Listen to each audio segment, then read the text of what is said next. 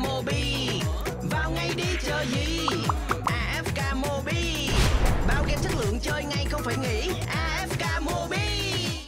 Ra mắt vào ngày 20 tháng 1 năm 2022, Dynasty Warriors Overlord chính là phiên bản dành riêng cho thị trường Đông Nam Á của Dynasty Warriors Dominate, tựa game hành động chặt chém do Tencent Games phát triển và được ủy quyền chính thức từ Koei Tecmo Nhật Bản.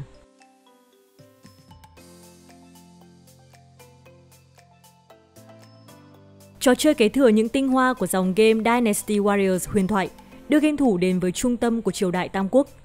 Ở đây, người chơi sẽ được khám phá cốt truyện thông qua góc nhìn của các nhân vật nhà Ngụy, Thục, Ngô và chiến đấu với hàng nghìn quân địch trên chiến trường. Vậy tựa game mobile này có đủ sức để làm thỏa mãn các fan cứng của dòng game đã hơn 20 năm tuổi? Hãy cùng AFK Mobile tìm hiểu qua video sau đây nhé!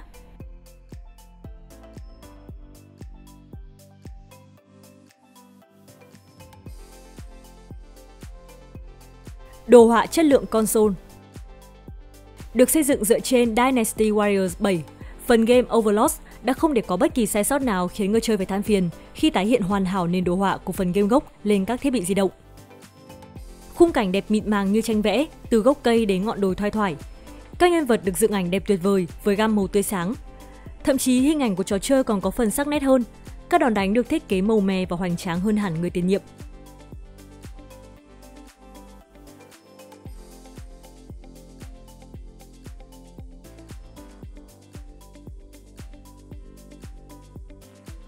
Ánh mắt của những nhân vật cũng được chăm chút, như ánh mắt uy dũng của quan vũ được sử sách miêu tả là mày tầm mắt phượng, hay ánh mắt gian hùng của Tư Mã Ý. Tuy nhiên, nhà sản xuất cũng rất cẩn thận, không vì nâng cấp đồ họa mà đánh mất sự mượt mà của game. Tốc độ khung hình luôn được giữ ổn định và hầu như không xảy ra hiện tượng giật lắc. Nhờ đấy, người chơi có thể thoải mái thưởng thức những trận chiến tốc độ cao và đẹp mắt. Với phe địch, hình ảnh cũng được chăm chút cẩn thận, khi các quân lính cũng có những sự khác biệt đáng kể khi nhìn gần, chứ không giống nhau đến mức như bản copy-paste. Vũ khí của bạn lẫn phe địch cũng thế. Bạn dễ dàng nhận ra cây thanh long đao của quan vân trường hay thiên phương họa kích của lữ bố giữa trận tiền.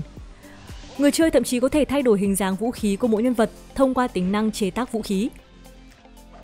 Về mặt hình ảnh, Dynasty Warriors Overlord được xem là một dấu cộng lớn nếu so với mặt bằng chung game di động. Tuy nhiên, việc sử dụng lại toàn bộ chất liệu quen thuộc và cũ kỹ từ Dynasty Warriors 7 có thể khiến một số game thủ cảm thấy hụt hẫng.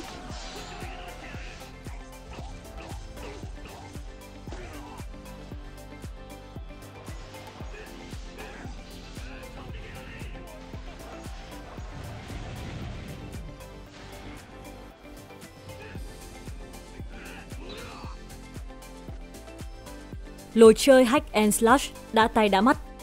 Được biết, yếu tố làm nên tên tuổi của dòng game Dynasty Warriors chính là những trường đoạn chiến đấu mãnh liệt, mang đến cho người chơi cảm giác phấn khích tột độ. Có thể nói, Dynasty Warriors Overlord đã kế thừa và phát huy xuất sắc đặc trưng này. Gameplay của trò chơi là một chuỗi các combo liên tục, lối chơi đơn giản chỉ là chặt chém, combo và knockout. Sức mạnh tướng lĩnh bạn chọn có thể địch trăm người, nhưng nếu bạn phối hợp khả năng đầy đủ, Sức mạnh ấy có thể một cân vạn địch dễ dàng.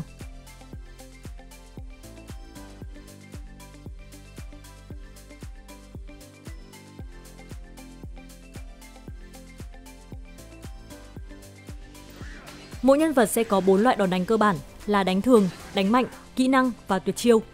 Thông qua đấy, người chơi chỉ cần liên kết các đòn đánh thường và đánh mạnh lại với nhau bằng cách bấm nút theo thứ tự sẽ tạo ra những combo vừa mạnh mẽ, vừa mãn nhãn.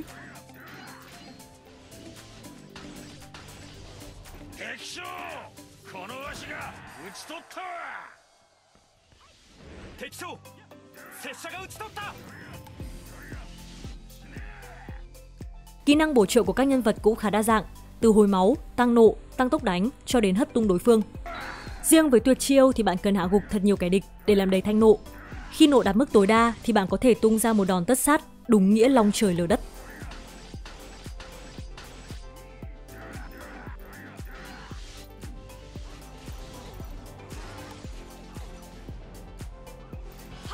Chưa hết, game còn cho phép game thủ tự do thay đổi giữa ba nhân vật trong khi chơi. Ngoài việc giúp quá trình chiến đấu trở nên linh hoạt ra, bạn còn có thể dùng tuyệt chiêu hợp kích để đẹp mắt và hoành tráng nếu ba nhân vật bạn chọn có mối quan hệ với nhau, bất kể là bạn hay thù.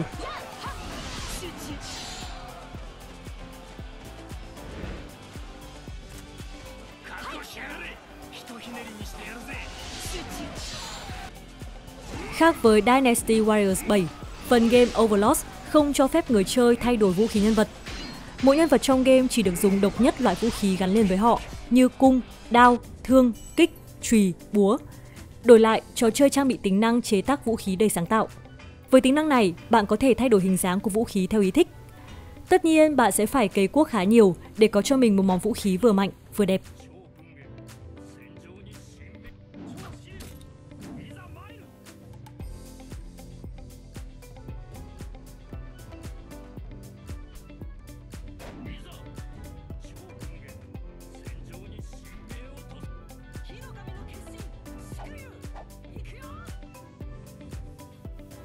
Những cải tiến sáng giá. Dù vẫn giữ được những gì tinh túy nhất của Dynasty Warriors 7, nhưng phần game Overlord cũng bổ sung rất nhiều thay đổi cho phù hợp với mô hình free-to-play và các thiết bị di động.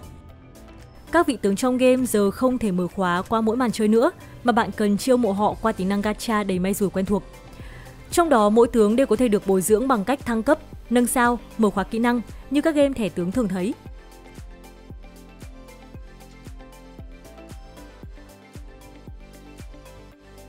Bên cạnh đấy, bạn không chỉ được tung hoành trong các trận đánh thuần túy với các pha combo chặt chém đã tay bất tận, mà còn có thể vào vai một chư hầu ôm mộng đế vương, thống nhất thiên hạ thông qua việc xây dựng doanh trại, đào tạo tướng lĩnh, giúp đỡ người dân.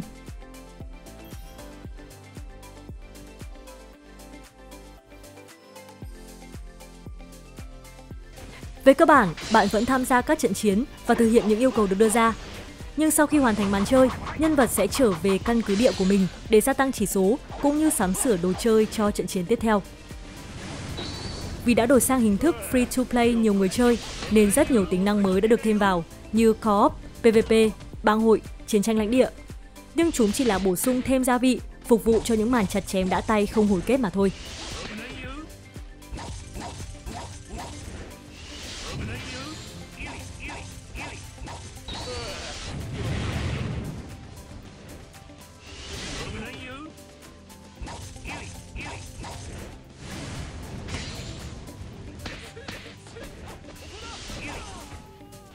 Ngoài những ưu điểm trên, phần game Overlord vẫn còn mắc vài hạt sạn nhỏ. Phần game Overlord vẫn còn mắc phải vài hạt sạn nhỏ, như việc không có nhiều màn chơi mới được thêm vào. Đa số chiến trường đều được dùng lại từ Dynasty Warriors 7 nên rất dễ gây nhàm chán với những game thủ gạo cội. Bên cạnh đấy, Dynasty Warriors Overlord không phải là tựa game dành cho dân ngoại đạo, khi mà mối quan hệ giữa các nhân vật trong game tỏ ra khá lằng nhằng và khó hiểu, nhất là với những ai chưa đọc Tam Quốc. Còn với những fan trung thành của dòng game, tuyệt vời có lẽ là từ chính xác nhất để diễn tả cảm xúc của họ.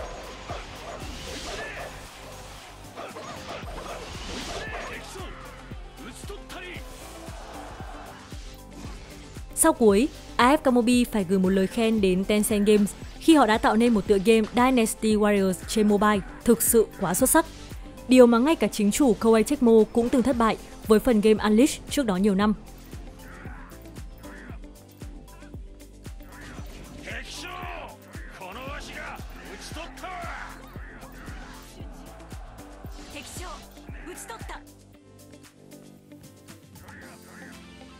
Nếu bạn là một người say mê tam quốc diễn nghĩa của La Quán Trung, muốn được hóa thân thành các anh hùng trong truyện, hay chỉ đơn giản là đang tìm kiếm một trò chơi chặt chém đã tay, thì Dynasty Warriors Overlord chính là lựa chọn phù hợp nhất dành cho bạn.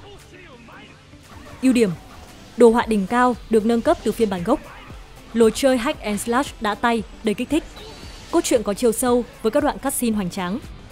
Nhân vật đa dạng để người chơi chiêu mộ và bồi dưỡng. Nhiều bổ sung và thay đổi sáng giá được thêm vào, Đấu trường PvP đầy tính cạnh tranh và công bằng. Khuyết điểm, Tái chế quá nhiều thứ từ Dynasty Warriors 7 Còn gặp một số lỗi kết nối trong quá trình trải nghiệm